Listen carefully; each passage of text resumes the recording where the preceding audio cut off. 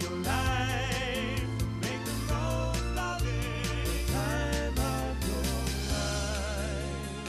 life. Time of Your Life is brought to you by Baptist Health and by Guardian Credit Union, where you belong. I'm Virginia Whitfield. And I'm Jack Galassini. Welcome to the time of your life. Again, we have fall, we're transitioning toward Thanksgiving, and then Christmas is right around the corners. We have Pam Martin from Market Shops Yes. over in over in Wetumpka with uh, with ideas about themes and what what the trend is. We'll talk about things that are trending as Right. well. And speak about the trend. Richard Shelby's leaving the Senate, so Katie Britt's going to be here today to talk why she should be the one you choose to be in that position. So let's get into today's show.